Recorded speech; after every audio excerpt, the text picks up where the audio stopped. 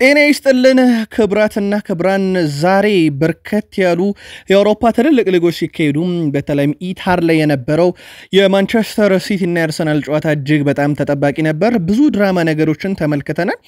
ከመጀመሪያው እንኳን ስንጀምር በጨዋታው ላይ ኬቨን ደብሮይነ እና እንደዚሁም ደግሞ የአርሰናሉ ማርቲን ኦዴጋርድ ጨዋታው ላይ እንደማይገኙ ሲታወቅ በሁለቱም በኩል የሆነ ነገር እንደሚጎል አስበን ነበረ። በኋላም ላይ ደግሞ ከሲቲ ሮድሪ እጅግ በጣም አስከፊ ጉዳት አስተናግዶ ከሜዳ ወጣ። ሌላ ልናነሳው የምንችለው የትሮሳርድን ቀይ ካርድ በተለይ አርሰናል በዚህ የውድድር ዓመት ራሱ የዴክላን ራይስን ቀይ ካርድ አየን። በጣም ባልተገባ መንገድ ዴክላን ራይስ ማለት በግል በሰራው ስህተት ቀይ ካርድ አየ። ከዛ ደግሞ ትሮሳርድ ቀይ ካርድ አየ። በተለይም ቀይ ካርድ የተመለከተው ጨዋታውን ለማዘግየት በመሞከር መሆኑን ሊጉ አሳውቋል የሊያንድሮ ትሮሳርድን እና ተመሳሳይ አይነት ቀይ ካርድን አርሰናሎች አንዴ በዴክላን ራይስ አዩ፣ ዛሬ ደግሞ በትሮሳርድ አዩና ማይክል ኦሊቨር በበኩላቸው ሰባተኛ ቀይ ካርዳቸውን ለአርሰናል ተጫዋች መዘዋል። እሳቸው አርቢትር በሆኑበትና ዋና ዳኛው ለአርሰናል ተጫዋች የመዘዙ ሰባት ቀይ ካርዶች ያህል ለየትኛውም ክለብ ተጫዋች እስካሁን አለመዘዙም እና በእርግጥ በጥፋት ደረጃ ተመሳሳይ ነገር ነው የተፈጠረው። የመጀመሪያ ቢጫ ካርድ ነበረበት።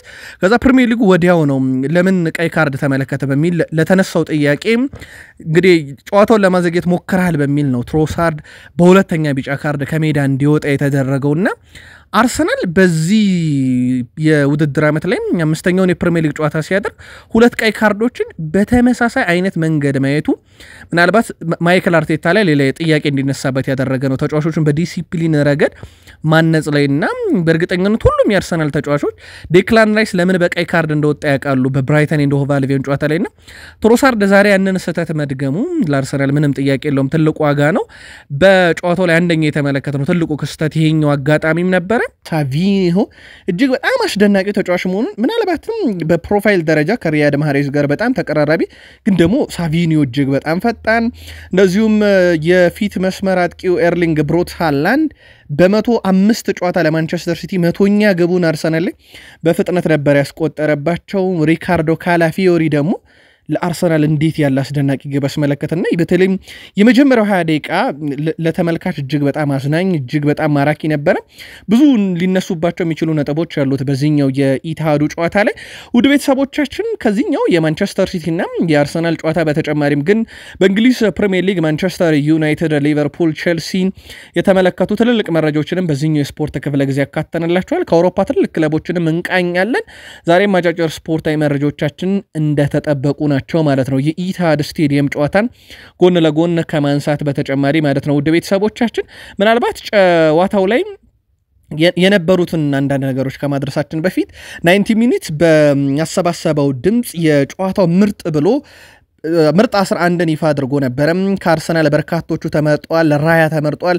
ሳሊባ፣ ጋብሬል ማጋሌሽ መሀል ተከላካይ፣ እንደዚሁም በግራ ግቫርዲዮል፣ በቀኝ 90 minutes የመረጠው ዋይትን ነው። ነገር ግን በጨዋታው ላይ ቤን ዋይት ተጠባባቂ ነበር። በቦታው የተሰለፈው ዩሊያን ቲምበር ነበር። የመሀል ሜዳውን ሮድሪ ጉንዶዋን እና ዴክላን ራይስ፣ ፊት መስመሩ ላይ ሲልቫ ሃላንድ እና ቡካዮ ሳካን መርጧል። በጨዋታው ላይ ግን እጅግ በጣም የተለዩ ምርጦችም ነበሩ። ከዚህም በተጨማሪ የአርሰናልና የሲቲ ደጋፊዎች አሊያም ገለልተኛ ደጋፊዎች ጨዋታውን ከተመለከታችሁ ልታጋሩን ትችላላችሁ። ማይክል አርቴታ በተለይም አንድ ያነሳው ነጥብ አለ። ቡድናቸው ወደ ስኬት እጅግ የቀረበ ስለመሆኑ እርግጠኛ መሆኑን ገልጾ በፕሪሚየር ሊጉ ታሪክ ምርጡን ቡድን እየተፎካከርን ነው ብሏል። አሁንም ማንቸስተር ሲቲን አሁን ትልልቅ ዋንጫዎችን ማሸነፍ ግን መጀመር አለብን። ከዚህ በኋላ በፉክክር ደረጃ ውስጥ ብቻ ሳይሆን አርሰናል ትልልቅ ዋንጫዎችን ያስፈልገዋል። በእርግጠኝነት እንሻሻላለን ብሏል። በዋንጫ ደረጃ በፕሪሚየር ሊጉ አርሰናል 13 የፕሪሚየር ሊግ ዋንጫዎች አሉት። ሲቲ አስረኛው የፕሪሚየር ሊግ ዋንጫ ላይ ደርሷል። ምናልባት አርሰናል ዘንድሮ ካሳካ ሲቲን በአንድ ጨምሮ በ14 ዋንጫ የሚርቅበት አሊያም ሲቲ ካነሳም ከአርሰናል በሁለት ዋንጫ ብቻ የሚርቅበት ሁለቱም ቀጡት ደግሞ በዚሁ መንገድ የሚቀጥልበት ነው። ፔፕ ጋርዲዮላ ምናልባት በጨዋታው ላይ እጅግ በጣም ተበሳጭቶ የተመለከትነው ዛሬ የሪካርዶ ካላፊዮሪ እጅግ በጣም አስደናቂ ኳስ ነው ያስቆጠራት። ከፍጹም ሳጥን ቅጣት ምት ውጪ ያገኛትን ኳስ ያስቆጠረበት ቴክኒክ በጣም የተለየ ነው። ምናልባት በርካቶች cross ያደርገዋል ብለው በተዘናጉበት ሰዓት ነው እሱ የግብ ጠባቂውን አቋቋም አይቶ ወደ ግብ መቶ ያስቆጠራት። ፔፕ ጋርዲዮላ አሁንም የወሩ ምርጥ አሰልጣኝ ተብሎ ተሸልሞ አያውቅም። 2021 ነው ለመጨረሻ ጊዜ የወሩ ምርጥ የተባለው፣ ግን ከዛ በኋላ ሶስት የዓመቱ ምርጥ አሰልጣኝ ነበረ። ዛሬ ግን እጅግ በጣም ሲበሳጭ ነበረ፣ በተለይም በዳኛው ውሳኔ ላይ። አርሰናል ለመጨረሻ ጊዜ ሲቲን በኢቲሃድ ሲያሸንፍ የወቅቱ የሲቲ አሰልጣኝ ፔሌግሪኒ እንደዚሁም ደግሞ የአርሰናል አሰልጣኝ አርሰን ቬንገር ነበሩ። ምናልባት ቲዮ ያለው ነገርስ ይሆናል ወይ በአንድ ወቅት ቲዮ ዋልኮት አርሰናል የፕሪሚየር ሊጉን ዋንጫ የሚያነሳው ልክ ፔፕ ጋርዲዮላ ሲለቅ ነው ብሏል ማንቸስተር ሲቲን። ግን አሁንስ ለሶስተኛ ዓመት ያ ነገር ይደገማል ወይ? ፔፕ ጋርዲዮላ እስካለ አርሰናል ዋንጫ አያነሳም የሚለው ፍልስፍና ይቀጥላል ወይ? በአመቱ መጨረሻ መጠበቅ ይኖርብናል። የዛሬ ጨዋታ ብቻ ሁሉን ነገር ስለማይወስን ማለት ነው። ኬቨን ደብሮይነ አሁንም ጉዳት ላይ ነው። ፔፕ ጋርዲዮላ ጉዳቱ መጠነኛ ነው ብሏል። መቼ እንደሚመለስ አላረጋገጡም። ያው በአርሰናል በኩል ልክ ኦዴጋርድ እንደሌለው ሁሉ ማለት ነው ማይክል አርቴታ የአርሰናል ተጫዋቾች እና ደጋፊዎችን እንኳን ደህና መጣችሁ ማለት እፈልጋለሁ ወደ ኢታድ ያሉት ፔፕ ጋርዲዮላ ግን ያጋጠመው ጉዳት መጠነኛ የሚባል ነው። በቅርቡ ይመለሳል ብለዋል። እሳቸው ግን ሪኮ ዊሊያምስን በደንብ ነው ያደነቁት። በተለይም በየትኛውም ቦታ ላይ መጫወት ይችላል ብለዋል። አንድ የ20 ዓመት ተጫዋችን የትኛው የሜዳ ክፍል ይመቻል ብትለውም የአማካይ ስፍራ ሊያም ክንፍ ነው የሚለው ሪኮ ዊሊያምስ ግን እግር ኳስ መጫወት ብሎ ነው የሚመልስልና በጣም አስደናቂ ተጫዋች ነው። እንደሱ አይነት ሁለት ተጫዋች ቢኖረኝ አንዱ ደግሞ ከሱ ቁመቱ ረዘም ያለ ቢሆን ይመረጣል ብለው በቀልድ መልክ አልፈውታል። ጋናይ ቶማስ ፓርቴ መቶኛ ጨዋታውን ዛሬ ለአርሰናልም እንደዚሁ ያደረገበት ነበረም። ጨዋታው ላይ ብዙ የሚነሱ ነጥቦች አሉ። ግን እናንተ ወደ አድማጮቻችን እስከዛ የሚሰማችሁን ስሜት በጨዋታው ላይ እንዴት አገኛችሁ? ጨዋታውን በአጠቃላይ ስሜታችሁን እያጋራችሁን የፕሪሚየር ሊግ ዋንጫስ ዘንድሮ በእርግጥ ሊቨርፑል ታሳቢ ተደርጎ ማለት ነው አርሰናልና ሲቲ ብቻ አይደሉም። ዘንድሮ ሊቨርፑል በእርግጠኝነት የዋንጫ ተፎካካሪ ቡድን እንደሆነ በአርኔ ስሎትም ስር እያሳየን ስለሆነ ማለት ነው። የትኛው ቡድን ግን ለዋንጫ more ቅድመ ግምት ይሰጧል የሚለውን አሁን ላይ ለመተንበይ ቢከብድም ግን የዛሬውን ጨዋታ እንዴት አገኛችሁት? ገለልተኛ ደጋፊዎችም ሀሳባችሁን ልታጋሩን ትችላላችሁ። እንመለሳለን። በፕሪሚየር ሊግ የማንቸስተርን፣ የሊቨርፑልን፣ የቼልሲን መረጃዎች ስናነሳ እንመለሳለን። እዚህም ጨዋታ ላይ ግን የተወሰኑ የአገር ቤት ጉዳዮችን እናንሳና አጫጭር መረጃዎቻችን ይቀጥሉ ከሀገር ቤት በኔዘርላንድ በተደረገው የ10 ማይል ውድድር ሙክታር ኢድሪስ የወቅቱ የ5000ና የ10000 ሜትር ኮከብ ኡጋንዳዊን ጆሹዋ ቺፕቴጌን በመቅደም ውድድሩን በአንደኝነት አጠናቋል። በሴቶች ደግሞ አሳየቻቸው ውድድሯን በአንደኝነት አጠናቃለች። ዛሬ በኢትዮጵያ ፕሪምየር ሊግም ጨዋታ ተደርጎ ነበር። የ2017 የመጀመሪያ ሳምንት ኢትዮጵያ ፕሪምየር ሊግ መርሃ ግብሮች እየተካሄዱ ነው። ወላይታ ዲቻ ከኢትዮ ኤሌክትሪክ ጋር ያደረገውን ጨዋታ ሶስት ለሁለት አሸንፈዋል። የጦና ንቦቹን የማሸነፊያ ግቦች ተስፋዬ መላኩ፣ ካርሎስ ዳምጠውና ጌታሁን ባፉ በራሱ መረብ ላይ አሳርፏል። ኢትዮ ኤሌክትሪክ ከሽንፈት ያልታደጉ ግቦችን ኢዮብ ገብረ ማርያምና አቤል ሀብታሙ ናቸው ከመረብ ያሳረፉት። ቀጣይ ሁለተኛ ሳምንት የኢትዮጵያ ፕሪምየር ሊግ አርብና ቅዳሜ ሲቀጥል እነኚህ ሁለት ቡድኖች ኢትዮጵያ ቡና ከኢትዮ ኤሌክትሪክ፣ ድሬዳዋ ከተማ ደግሞ ከወላይታ ዲቻ ጋር ጨዋታቸውን የሚያደርጉ ይሆናል። የባህር ማዶ አጫጭር ስፖርታዊ መረጃዎቻችንን ስንቀጥል በአመቱ መጨረሻ ላይ ከባየር ሙኒክ ጋር ያለው ኮንትራቱ የሚጠናቀቀው አልፎንሶ ዴቪዝ አሁን ሙሉ ትኩረቴ ባየር ሙኒክ ላይ ነው፣ ስለ የትኛውም ክለብ አላስብም፣ ሙሉ ትኩረቴን የማደርገው ባየር ሙኒክ ነው ነው ባየር ሙኒክም በልብ ያለው አሁን ትልቁ ክለብ ነው ብሏል። ከኮንትራት ጋር በተያያዘ ለተነሳለት ጥያቄም ጥያቄው ጥሩ ነው፣ ይህንን ጥያቄ ግን እኔን ሳይሆን ወኪሌን ጠይቁት ብሏል። ከመሀል ሜዳው ተጫዋች ሊዮሪያን ጎሬስካ ጋር በተያያዘ ዳይሬክተሩ ፍሩድ ባየር ሞኒኮ ማለት ነው። በተጫዋቹ ደስተኛ ነኝ ብለዋል። በጃንዋሪ ይለቃሉ ተብለው ተጠይቀው ነበረ። አሁን ባለው ሁኔታ እንደዚህ አይነት ነገሮችን ማሰብ አንፈልግም። ከኛ ጋር ጥሩ ስራዎችን እየሰራ ነው። ለቡድኑ የሚያስፈልገውን ነገር እያየ ነው። በሚቀጥሉ ሶስትና አራት ወራት ውስጥ የሚፈጠረውን ነገር እንመለከታለን። አሁን ላይ ግን ስለዛ ስለ ተጫዋቹ መልቀቅ የማስበው ነገር የለም ብለዋል። ስለ ፍሎረን ዌርዝም ተጠይቀው ነበረ። በጣም ያደንቁት ተጫዋች እንደሆነ ይታወቃል። በእርግጥ ይህን ተጫዋች የማያደንቅ የለም። ስሙ በስፋት ከሪያል ማድሪድ ጋር ቢያያዝም ባየር ሙኒክም ዋነኛ ፈላጊ ናቸው። 2025 ላይ የዚህ ተጫዋችን ዝውውር በስፋት እንሰማለን ተብሎ ነው የሚጠበቀው። ምርጡ ተጫዋች ነው ብሏል። በተለይም እሳቸው ቡድን ውስጥ ካለው ከጀማል ሙሲያላ ጋር ያላቸውንም ጥምረት አወድሷል። እሳቸው በተለይም ጀማል ሙሲያላ ለባየር ሙኒክ ይጫወታል፣ ፍሎሪያን ዊርትዝ ደግሞ ለባየር ሌቨርኩሰን። በሀገር ደረጃ ሁለቱም ለጀርመን ብሔራዊ ቡድን እንደሚጫወቱ ይታወቃልና በዚህ ጉዳይ ላይ እሳቸው ሀሳባቸውን ሲያነሱ የሁለቱ ጥምረት በጣም አስደናቂ ነው። ለማንኛውም በሚቀጥሉት ወራት ውስጥ ምን እንደሚፈጠር አላቅም ብለዋል። ግን በጥር ያመጡታል ተብሎ አይጠበቅም። ሪያል ማድሪድ ቤት ከሄድን የሪያል ማድሪድ የዘንድሮ ቁጥሩ ለየት የሚያደርገው ነገር ሪያል ማድሪድ በዚኛው የውድድር ዓመት 18 ግቦችን በተቃራኒ መረብ ላይ ሲያሳርፍ በጣም አስገራሚ ነገር አንድ ግብ ብቻ ነው ከረፍት በፊት ያለው። 17ቱ ግቦች የተቆጠሩት ከረፍት በኋላ ነው። የካርሎ አንቾሎቲ ቡድን ይሄ የአውሮፓ ሻምፒዮንስ ሊግ ላይ ሪያል ማድሪድ አንድ የሚታወቅበት ነገር አለ። ሪያል ማድሪድ የሚታመን ቡድን አይደለም። ዳኛው ፊሽካ ነፍቶ ጨዋታው ተጠናቋል እስኪል ድረስ ሪያል ማድሪድ በየትኛውም የግብ ልዩነት ቢመራ ሊመለስ የሚችል አይነት ቡድን እንደሆነ በአውሮፓ ሻምፒዮንስ ሊግ እናውቀዋለንና ያ ነገር አሁን ወደ ላሊጋውም ሳይለምድባቸው አይቀርም። ለማንኛውም ሁለተኛው አጋማሽ የሪያል ማድሪድ ሆኖ ቀጥሏል። ፋብሪዚዮ ሮማኖ ከሪያል ማድሪድ ምንጮች ያረጋገጥኩት ያለው አንደኛው ደግሞ ካስቴሎ ሉክባ የሪያል ማድሪድ የቀጣይ ውድድር ዓመት የመሀል ተከላካይ ዋነኛ ኢላማ ሆኗል ተብሏል። ከፕሪሚየር ሊጉ የዊሊያም ሳሊባ ፈላጊ እንደሆኑ ይታወቃል። ያርሰናሉ እንደ አማራጭ ደግሞ ካስቴሎ ሉክባን እንደ እቅድ መያዛቸውን ፋብሪዚዮ ሮማኖ ራሱ አረጋግጧል። በዝውውር ታማኝ የሚባለው ሰው እንደሆነ ይታወቃልና የሪያል ማድሪድ ስካውቶች ይህን ተጫዋች ተመልክተውታልና ለመሀል ተከላካይ ሁነኛ መፍትሄም ተደርጎ ተይዟል የተባለው የሮማ ስራ አስፈጻሚ ከኃላፊነት መልቀቋ ተዘግቧል። የጣሊያን ሴሪያው ክለብ ሮማ ዋና ስራ አስፈጻሚ ሊና ሶሎኮ ከኃላፊነቷ በፍቃዷ መልቀቋን ክለቡ ይፋ አድርጓል። ኃላፊዋ ስራዋን ለመልቀቅ የወሰነችው የአሰልጣኝ ዳንኤል ዴሮሲ መሰናበት ተከትሎ ከሮማ ደጋፊዎች ማስፈራሪያ ደርሷት መሆኑን ተገልጿል። በተጨማሪም በአሁኑ ሰዓት እሷና ልጆቿ በፖሊስ ጥበቃ እየተደረገላቸው መሆኑ ተነግሯል። ሮማ ከቀናት በፊት ዳንኤል ዴሮሲን በማሰናበት አሰልጣኝ ኢቫን ጁርሲችን በኃላፊነት መሾሙ አይዘነጋምና በዚህ ምክንያት ከሮም ደጋፊዎች ወይም ከሮማ ደጋፊዎች ከፍተኛ የሆነ ዛቻ ደርሶባት በዚህም በገዛ ፈቃዷ ስራዋን እስከ መልቀቅ ደርሳለች ተብሏል። ሊዮኔል አንድሬስ ሜሲ ለኢንተር ሚያሚ መጫወት ከጀመረ ጊዜ ጀምሮ ለመጀመሪያ ጊዜ በተቃራኒ ደጋፊ ትላንትና ተቃውሞ ገጥሞታል። ጨዋታው አንድ ለአንድ ነው ከኒውዮርክ ሲቲ ጋር የተጠናቀቀው። የሊዮኔል ሜሲ ቡድን ኢንተር ሚያሚ ከሜዳ ውጭ ጨዋታን ሲያደርግ ለመጀመሪያ ጊዜ ነው በተቃራኒ ደጋፊ ለሊዮኔል ሜሲ እንደዚህ አይነት ተጋጥሞ የጠበቀው። በጨዋታው እጅግ በጣም ከፍተኛ የሚባል ተመልካች ነበር የመጣው። ያው ጨዋታውም አንድ ለአንድ በሆናቸው ውጤት እንደተጠናቀቀ ይታወቃል። በጣም አስገራሚ ነገር ግን ሊዮኔል አንድሬስ ሜሲን ካነሳን የትኛውን ቡድን ለሊዮኔል አንድሬስ ሜሲ ለማስፈረም ምንም አይነት ገንዘብ አላወጣም። ከላማሲያ እስከ አሁኑ ኢንተር ሚያሚ ሲጫወት ለሶስት ክለቦች ነው በእርግጥ የተጫወተው። በላማሲያ ያደገ ለባርሴሎና ተጫወተ። ባርሴሎና በነፃ ያሳደገው ልጁ ነው። ከዛ በኋላ በነፃ ወኪል ነው ለፓሪስ ሰን ጀርሜን። ከዛ አሁን ለኢንተር ሚያሚም ሲፈርም ኮንትራቱን አጠናቆ በነፃ እንደሆነ ይታወቃልና የዓለማችን ውዱ ተጫዋች ነበረ በ transfer market ላይ ግን አንድም ወጪ ሳይወጣበት ነው አሁን ለኢንተር ሚያሚ እየተጫወተ የሚገኘው ዛሬ በፕሪሚየር ሊጉ ከአርሰናልና ከሲቲ ጨዋታ በተጨማሪ ውድ ቤተሰቦቻችን በ10 ሰዓት ሲል በኢትዮጵያን አቆጣጠር ተጠባቂ አንድ ጨዋታ ነበረ በብራይተን እና ኖቲንግሃም ፎረስት መካከል የነበረ ለተመልካች በጣም አዝናኝ ጨዋታ ነበረ። የሁለቱም እግር ኳስ በጣም ያምር ነበረ። ቶሎ ቶሎ ወደ ግብ የሚሄዱ ፍልሚያዎች ነበሩት። የአንድ ለአንድ ግንኙነታቸው በጣም ደስ ሲል ነበር። ድሪብል የሚደራረጉበት መንገድ ጨዋታው በአጠቃላይ ለተመልካች ሁሉ ነገሩ አዝናኝ ነበረ። ተጋድሎ በጣም የነበረው ጨዋታ ነው። በፕሪሚየር ሊግ እንደዚህ አይነት የወገብ ቡድኖች ሲጫወቱ ጥሩ እግር ኳስ እንደሚጫወቱ ይታወቃል። ለማንኛውም ጨዋታው ሁለት ለሁለት ተጠናቋል። አሜክስ ስቴዲየም ላይ ሂንሽልውድ በ42ኛው ደቂቃ ላይ እና ዌልቤክ በቅጣት ምት በጣም አስደናቂ ቅጣት ምት ምናልባት ሮናልዶ እንደዚህ አይነት ቅጣት ምቶችን ሲያስቆጥር እናውቃለን።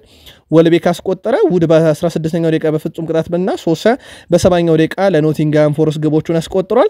ብራይተን ወደ ሊጉ ካደገ በኋላ በሊጉ አራት ተጫዋቾች ብቻ ናቸው ለብራይተን ቅጣት ምት ያስቆጠሩት ፓስካል ግሮዝ 2019 ሊዩስ ደንክ 2019 ማካሊስተር 2022 ላይም ዛሬ ደግሞ ዳኒ ዌልቤክ በ2024 ፎረስት ላይ በጣም አስደናቂ ቅጣት ምት ግብ አስመለከተን። ጨዋታ ሁለት ለሁለት ነው ይሄኛው ጨዋታ የተጠናቀቀው። ኤንዞ ማሬስካ ኒኮላስ ጃክሰን ጥሩ ተጫዋች ብቻ ሳይሆን ጥሩ ግብም አስቆጣሪ ነው። በዛ ላይ ደግሞ ከኳስ ውጪም ያለው ሚና እጅግ በጣም ማርኮኛል ብለዋል። በተለይም በጨዋታ ላይ በቁጥር በዛ ብለን እንድንገኝም አድርጓል ብለዋል። ወደኋላ ተመልሶ ቡድኑ በመከላከል ረገድ የሚያግዝበት መንገድ እና ከኳስ ውጭ ያለውን work rate ኡን በጣም አድንቄለታለሁ ብለዋል። በዚህ ሳምንት ዌስትሃም ዩናይትድ ላይ ሁለት ግቦችን እንዳስቆጠረም ይታወቃል። ኮል ፓልመርም በ ኒኮላስ ጃክሰን እንቅስቃሴ ፍጹም ደስተኛ መሆኑን ተናግሯል።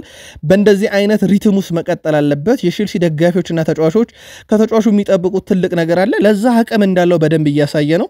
ከእሱ ጋርም በመጫወቴ ደስተኛ ነኝ ብለዋል። ኤንዞ ማሬስካ ደግሞ ስለ ዌስሊ ፎፋና ሀሳባቸውን አጋርተዋል። በተለይም ተጫዋቹን በጣም እንደሚያደንቁት ተናግረዋል። በጣም የማደንቀው ተጫዋች ነው። በተለይም ከጉዳት መልስ ለአንድ ዓመት እግር ኳስ ላይ ያልነበረ ተጫዋች በዚህን ያህል ደረጃ መጥቶ ፊት ማድረጉ በጣም አስደንቆኛል ብሏል። እንደሚታወቀው እንደሚታወቀው ይህ ተጫዋች ለኦሎምፒክ ደማርሴ የመጫወት ህልም እንዳለው ይታወቃል። ምንም እንኳን አሁን በቼልሲ ቤት ቢገኝም ማለት ነው። ፌዴሪኮ ኬዛ በኤሲ ሚላን ጨዋታ ላይ ሰባት ደቂቃ ብቻ ነበር የተጫወተው። ትንሽ ነበረም፣ ነገር ግን መጫወቴ በራሱ ለእኔ ደስተኛ ነበርኩኝ። ከዛም በኋላ በፕሪሚየር ሊጉ ትላንትና ተቀይረ ገብቶ ተጫውቷልና ጠርቶኝ አሰልጣኝ አርኔ ስሎት ልገባ እንደሆነ ሲነግረኝ እጅግ በጣም ከፍተኛ ደስታን የተሰማኝ ብሏል። በተለይም በፕሪሚየር ሊግ መጫወት ለእኔ ትልቅ ስሜት አለው። ስለሆነም በአንፊልድ ሮድ በዚህ ደጋፊ ፊት በመጫወቴ በጣም ደስ ብሎኛል። ደቂቃዎችን ለማግኘት አሁንም ጠንክሬ እሰራለሁ ብሏል። ሉዊስ ዲያዝ የወቅቱ ደግሞ የሊቨርፑል የቁርጥ ቀን ደራሽ ሆኗል። ብዙ የተሻሻለ ግን ቁጥር አለው። ካስታወሳችሁ በ2023/24 የውድድር ዓመት የሉዊስ ዲያዝ ትልቁ ችግር የነበረው ከግብ ጋር ያለው ግንኙነት ወይም ደግሞ የግብ አስተዋጽኦ በጣም ዝቅተኛ ነው። ግን በጨዋታ በጣም ታታሪው የሊቨርፑል ተጫዋች እንደሆነ ይታወቃል። በ2023/37 የፕሪሚየር ሊግ ጨዋታዎችን አድርጎ ስምንት ግብ፣ አምስት assist፣ አምስት ትልልቅ እድሎችን ብቻ የፈጠረው ተጫዋች ነበረ። ዘንድሮ ገና በአምስት ጨዋታ አምስተኛ ግቡ ላይ ደርሷል። ከ37ቱ ጨዋታ ስምንት ነበር። አሁን በ37 ጨዋታ ካስቆጠረው ግብ በሶስት ብቻ ነው በአምስት ጨዋታ የሚያንሰው። አንድ assist፣ ሁለት ትልቅ እድሎችን ፈጥሯል። አስደናቂ ጉዞ ላይ ይገኛል። ዘንድሮ በአርኔ ስሎት ቡድን ውስጥም የቡድኑ ቁልፍ ተጫዋች መሆኑን ተመልክተናል። በዚህ ሳምንት ሁለት አስደናቂ ግቦችን ያስመለከተን። ከዛ ውጪ ቨርጅል ቫንዳይክ ስለ ዳርዊን ኑኔዝ ሀሳቡን አጋርቷል። ለዳርዊን ኑኔዝ ደስተኛ ነኝ። እናም ይሄ አቋም ማስቀጠል አለበት። በተጨማሪም የመጫወት እድል ሲያገኝ በአግባቡ መጠቀም አለበት። በቀሪ የውድድር ዘመንን በዳርዊን እና በዲያጎ መካከል ከባድ ፉክክር እንደሚኖር ይጠበቃል ብለዋል። ያው የዳርዊን ኑኔዝ የዚህ ሳምንት አስደናቂ ግብንም አስመልክቶናል። ቋሚ አድርገው አስጀምረውት ነበር። እሱም አላሳፈራቸውም። የተሰጠውን ደቂቃ በትክክል የተጠቀመ ይመስላል። ያው ቨርጅል ቫንዳይክ ደግሞ በጨዋታው ላይ ወደ 45 የሚጠጉ ኳሶችን አግኝቷል። እነኝን ያገኛቸውን ኳሶች በሙሉ ለቡድን አጋሮቹ በትክክል ነው ማቀበል የቻለው። መቶ percent የማቀበል ስኬት ነበረው በትላንትናው ዕለት። ሌላ በጣም አስደናቂ ጊዜን ካሳለፉ በዚህ ሳምንት የሊቨርፑል ተጫዋቾች አንደኛው ቨርጅል ቫንዳይክ ነው። የሪያል ማድሪዱ ግብ ጠባቂው ቲቦ ኮርቱዋ አንድሬ ኦናናን አድንቆታል። በተለይም በማንቸስተር ዩናይትድ እና በክሪስታል ፓላስ መካከል በነበረው ጨዋታ 65ኛው ደቂቃ ላይ አንድሬ ኦናና ሁለት ኳሶችን በቅጽበት ያዳነበት መንገድ በተለይም የመጀመሪያ የተመታበትን ኳስ ከተፋ በኋላ በዛው ፍጥነት ከመሬት ላይ ተነስቶ ሁለተኛውን ኳስ ያዳነበትን መንገድ በጣም አድንቆለታል። በእርግጥ ምንም እንኳን ኦናና እነኚህን ኳስ ማዳኔ ጥሩ ቢሆንም ሳናሸንፍ መውጣታችን አላስደሰተኝም ማለቱ የሚታወቅ ነው። በጨዋታው ላይ አነጋጋሪ የነበረው የራሽፈርድ ከተጠባባቂ ወንበር ላይ መጀመር ነበር። በጉዳዩ ላይ ፋብሪዞ ሮማኖ መረጃዎችን ይዞ ወጥቷል። አሁንም በቡድን ውስጥ ራሽፈርድ፣ አማድና ጋርናቾ የቋሚነት ስፍራን ያጡ ተጫዋቾች አይደሉም ብሏል። ነገር ግን በጨዋታው ላይም በተለይም ኤሪክ ቴናግ ባሉት መሰረት እሳቸው በማለዳው የስፖርት ክፍለ ጊዜ ያደርሰናቸዋል በ rotation መንገድ ስለተጠቀሙ ወይም ደግሞ ተጫዋቹን በባርንስሌው ጨዋታ ስለተጠቀሙበት እረፍት ከመስጠት አንጻር ካልሆነ በስተቀር በሁለቱ መካከል ምንም የተፈጠረ ችግር የለም። አሁንም ቢሆን ማርከስ ራሽፎርድ በኤሪክ ቴናግ ስር ቋሚ ሆኖ የመቀጠል እድሉ ከፍተኛ ነው ብሏል ፋብሪዚዮ ሮማኖ። አንድሬ ኦናና በራስመስ ሆይሉንድ ዙሪያ ሀሳቡን አጋርቷል። የቡድኑ ዘጠኝ ቁጥር ተመልሶላቸዋል። ተስፋ እናደርጋለን። ለእኛ ቁልፍ ተጫዋች ነው። ሁላችንም ደስተኞች ነን፣ ምክንያቱም ተመልሶ መጥቷል። እናም ማላሲያም እንግዲህ ተመልሷል። እንግዲህ በቡድን ውስጥ አሁን አስፈላጊ የምንላቸው ተጫዋቾች ወደ ቡድኑ እየተመለሱ ይገኛሉ። ይሄ ደግሞ በቀጣይ ለምናደርጋቸው ወሳኝ ጨዋታዎች ለቡድን ግባት በተለይም ደግሞ ስኳድ ዴብዛችን ለማስፋት ይጠቅመናልና የራስመስ ሆይሉንድ መመለስም በጣም አስደሳች ነው ብለዋል። ትላንትና ግን ዩናይትድ ነጥብ ከመጣሉ ጀርባ እንደ ብሩኖ ፈርናንዴዝ ያለ ተጫዋች በጣም የወረደ አቋም የተመለከትንበት ነበር። በተለይም ሁስኮርድ አንድ መረጃን ይዞ ወጥቷል ከብሩኖ ፈርናንዴዝ ጋር ብሩኖ ፈርናንዴዝ ሜዳ ውስጥ ቋሚ ሆነው ከጀመሩት ተጫዋቾች በሙሉ pass accuracy ው ዝቅተኛ የነበረው እሱ ነው። 73 ነጥብ ሁለት ነበረ የ pass accuracy ወይም ደግሞ ለጓደኞቹ ኳስ ሲያቀብል ስኬታማ የነበረው በጣም ዝቅተኛ የሱ ነበረና ብሩኖ ፈርናንዴስ አሁን ማረፍ ያለበት ትክክለኛ ሰዓት እንዳለ የተመለከትንበት ነውና በትክክል ረፍት የሚያስፈልገው ተጫዋች እንደሆነ ተመልክተናል። እንደዚህ አይነት የ pass ስህተቶች የሚፈጠሩት ብዙ ጊዜ የአካል መዛል ሲያጋጥም ነውና ተጫዋቾች ብዙ ጊዜ ተደራራቢ ጨዋታዎችን ሲያደርጉ አንደኛው የምንመለከትባቸው ችግር የ pass accuracy ችግር ነውና ብሩኖ ፈርናንዴዝም በትክክል ረፍት የሚያስፈልገው ሰዓት የደረሰ ይመስላል። ሁስኮርድ ነው ቁጥራዊ መረጃውን ያወጣው። ሌላኛው በማንቸስተር ዩናይትድ ውስጥ አንድ የተመለከትነው ነገር የክርስቲያን ኤሪክሰን በቡድን ውስጥ አሁንም ቁልፍ ተጫዋች መሆኑን ያስመለከተበት ነበረ። በተለይም በማንቸስተር ዩናይትድ የማጥቃት ሽግግር ላይ ክርስቲያን ኤሪክሰን አብዛኛውን ኳሶቹን ነክቷቸዋል። በተለይ ማንቸስተር ዩናይትድ በ build up ጊዜ አንድ በአብዛኛው ጊዜ የተመለከትነው ነገር የክርስቲያን ኤሪክሰን ሚና በጥልቀት ወደኋላ መመለስ ቢሆንም እናም ወደ ግራ ወደ ዲያጎ ዳሎ ተጠግቶ ነበረ ሲጫወት የነበረው። ኳስ distribution skill ኡ ምንም ጥያቄ የለውም። የ pass accuracy ው በጣም ወሳኝ የሚባሉ ናቸው። ለአንድ የአማካይ ስፍራ ተጫዋች ሊኖረው ከሚገባው ኳስ accuracy ወይም ደግሞ የ distribution skill አንደኛው ልናገኘው የምንችለው ኤሪክሰን ጋር ነበረ። ክርስቲያን ኤሪክሰን በጨዋታው 58 ኳስ ነው ያቀበለው። 88 በመቶ የሚሆነው ያቀበላቸው ኳሶች ተጫዋቾች ጋር ደርሷል ወይም target ኡን አግኝተዋል። ነገር ግን አንድ በክርስቲያን ኤሪክሰን ላይ ሊነሳ የሚችለው ጥያቄ 32 ዓመቱ ነው። ሙሉ 90 ደቂቃ መጫወት አይችልም። በዛ ላይ ደግሞ በጣም ፈጣን transition ላይ የሚገኙ ቡድኖች ላብነት ያክል እንደ ሲቲ፣ እንደ አርሰናል ኳስን ነጥቀው፣ እንደ ሊቨርፑል ኳስን ነጥቀው በፈጣን transition ወደ ተቃራኒ ግብ ክልል የሚያመሩ ቡድኖችን በክርስቲያን ኤሪክሰን መግጠም ግን ለማንቸስተር ዩናይትድ risk ቢኖረውም ነገር ግን ኳስን የማቀበል skill ኡና ይህ እያንዳንዱን የማጥቃት ሽግግር የሚያስጀምርበት መንገድ ግን ለቡድኑ እንዴት ቁልፍ ተጫዋች እንደሆነ የተመለከትንበት ነው። ምናልባት በኤሪክ ቴናግ በኩል አንድ የሞከሩት ነገር በጨዋታው ላይም ኮቢ ማይኖን ነበር ከሱ ጋር ያጣመሩትና የኮቢ ማይኖ ሚና በተወሰነ መንገድ ተለይቶ ነበረ። ኮቢ ማይኖ ከሳውዛምተን ጨዋታ በኋላ በተለይም ከክርስቲያን ኤሪክሰን ጋር ሲጣመር የደበዘዘበት ዋነኛ ምክንያት ከለመደው የ advanced ሚና ይልቅ ወደኋላ ተመልሶ deep lying playmaker እንዲጫወት ተገዶ ነበረ። ይህ ሚና በጣም እንደከበደውም ተመልክተናል። ኤሪክ ቴናግ በተለይም በዚህኛው ሳምንት ጨዋታ ዜሮ ለዜሮ በተለያዩበት የፓላሱ ጨዋታ ላይ ግን በ deep ሚና እንዲጫወት አድርጎ ኮቢ ማይኖ በለመደው advanced ሚና እንዲጫወት አድርጎት ነበረ። የ deep ሚናውን ይሄ playmaker ሆኖ እንዲጫወት ያደረጉት ወይ ከኋላ የመከላከል ስፍራውን ስድስት ቁጥር ሚና ላይ ያጫወቱት ክርስቲያን ኤሪክሰንን ነበረና እሱ መኖሩን ተከትሎ ወደ ለመደው ቦታ መጥቶ ነበረ። ጥሩ ነበረ ትላንትና በተመለከትንበት መንገድ። ግን ይህም በማንቸስተር ዩናይትድ አሁንም ክርስቲያን ኤሪክሰንን ስድስት ቁጥር ቦታ ላይ አድርጎ መጫወት risk አለው እንጂ ለኮቢ ማይኖ ጥሩ ምቾት እንደሰጠው ተመልክተናል። ለማንኛውም ማንቸስተር ዩናይትድ ቤት ግን አሁንም መሀል ሜዳው ላይ ጥራት እንጂ ኤሪክ ቴናግ ማንን ከማን በሚለው ጉዳይ ላይ ምላሽ ያገኙበት አይመስልም። ለማንኛውም በምን አይነት መንገድ ኤሪክ ቴናግ ይህንን የሜዳ ክፍል ያላቸውን ተጫዋቾች quality በምን አይነት መንገድ ያስተካክሉታል የሚለው በቀጣይ የምንመለከተው ይሆናል። በዚህ ጨዋታ ላይ ግን ማንቸስተር ዩናይትድ ነጥብ ማጣቱ በርካቶች በዚህን ያህል ደረጃ ማንቸስተር ዩናይትድ ተጫውቶ ግብ የማያስቆጥር ከሆነ ቡድን ውስጥ የሆኑ ሊስተካከሉ የሚገቡ ነገሮች እንዳሉ ማሳያ ነው ብለው ያምናሉ። ምናልባት ንጹሕ የዘጠኝ ቁጥር አጥቂ ጉዳይን በተመለከተ አሁን ራስመስ ሆይሉንድ መጥቷል። fit እያደረገ ሲመጣም ይህ ችግር የማይቀረፍ ከሆነ ግን አብዛኞቹ ጣቶች አሁንም እንደገና ወደ ኤሪክ ቴናግ መዞር ይጀምራሉና ምናልባት ኤሪክ ቴናግ ይህንን የማጥቃት ቀጠናውን ላይ ያሉ የግብ የማስቆጠር ንጻሬዎችን በትክክል ሊቀይሩ ይገባል። እነ ሩድ ቫን በዚህ ነገር ትልቅ ስራ የሚጠብቃቸው ይመስላል። ለማንኛውም ይህ ጨዋታ ማንቸስተር ዩናይትድን ምናልባት ወደፊት ፕሪሚየር ሊጉ more እየገፋ በመጣ ሰዓት እንደዚህ የጣላቸው ነጥቦች ዋጋ ሊያስከፍሉት ይችላሉ። ዘንድሮ top four ሆኖ መጨረስ ለዩናይትድም ለኤሪክ ቴናግን በጣም ወሳኝ ነው።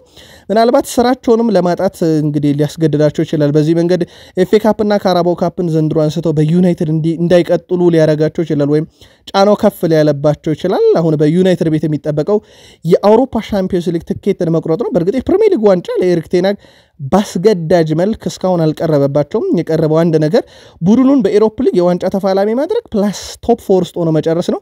የትኛውን ያሳኩታል በቀጣይ የምንመለከተው ነው። ለማንኛውም ውድ ቤተሰቦቻችን ኢትሃድ ስቴዲየም ላይ አርሰናል ከማንቸስተር ሲቲ በጣም አዝናኝና ለተመልካች በተለይም ለአርሰናል እና ለ ሲቲ ደጋፊ ምንም ጥያቄ የለውም። ጨዋታው ቁጭ ብድግ የሚያደርግ ነው። በተለይም ግቦቹ ሲቆጠሩ ካልፊዮሪ፣ ጋብርኤል ማጋሌሽ ግብ ሲያስቆጥር በተለይም የአርሰናል የቆሙ ኳሶች የ set piece specialist መሆንም በጣም አስገራሚ መሆኑ የተመለከትንበት ነው። ለማንኛውም ጨዋታው ብዙ የሚነሱ ነጥቦች ያሉት የኢትሃዱ ስቴዲየም ጨዋታም መግቢያችን ላይም ብዙ ነጥቦችን አንስተንላቸዋል። ግን የአርሰናልም የሲቲም ደጋፊዎች አጋሩ ነጥባችሁን ይህ ጨዋታ የፕሪሚየር ሊጉን ዋንጫ አይወስንም፣ ምንም ጥያቄ የለውም። ግን ሜዳ ላይ የነበረው ነገር የሁለቱን ቡድኖች የተፋላሚነት ብቃት፣ ቁርጠኝነት ብዙ ብዙ ነገር የተመለከትንበት የፔፕ ጋርዲዮላን ታክቲክ የማይክል አርቴታ በትክክል ከፔፕ ጋርዲዮላ ስር የተማረ አሰልጣኝ መሆኑን የተመለከትንበት ሁለቱም transition ኣቸው እጅግ በጣም ማራኪ ነበር። በተለይ የመከላከል ቀጠና ላይ ጥቅጥቅ ብለው ቢከላከሉም በሁለቱም ቡድን በኩል ያንን ተመልክተናል።